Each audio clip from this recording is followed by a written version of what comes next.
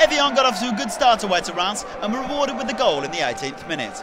Former Lyon man Sidney Govou attempted a shot from distance, which was steered into the net by Kevin Berigaud.